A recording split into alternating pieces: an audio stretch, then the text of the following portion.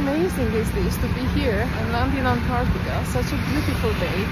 I can see all mountains behind me. First breath on the ice and it feels like another planet. Yeah, totally. Yeah, look amazing! what beautiful weather. Oh look, Mount Erebus. Smoking. I'm choosing to take the KRESS.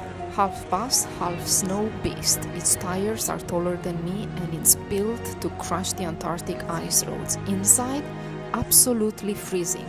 But this one hour ride across the frozen desert is our ticket to McMurdo Station, unless it gives up at the hill like it usually does.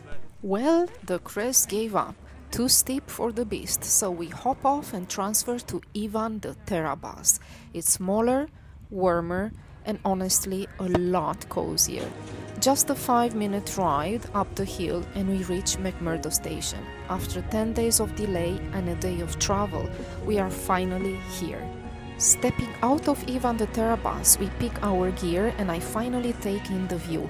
Welcome to McMurdo station.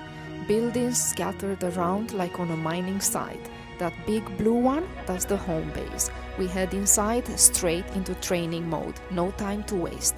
Follow along as we unpack, train, and prep for polar fieldwork.